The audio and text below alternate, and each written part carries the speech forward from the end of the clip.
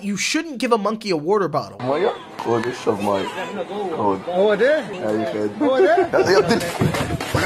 You see, that's what you get. You thought you were going to the zoo, but that chimp just gave you an express pass to the water park. Look, I may be a chimp, but you're a chump. I'm sorry, but this is exactly why